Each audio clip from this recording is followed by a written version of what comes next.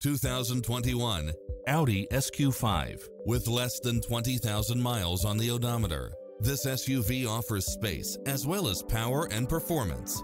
Additionally, you'll be more than pleased with extra features like these.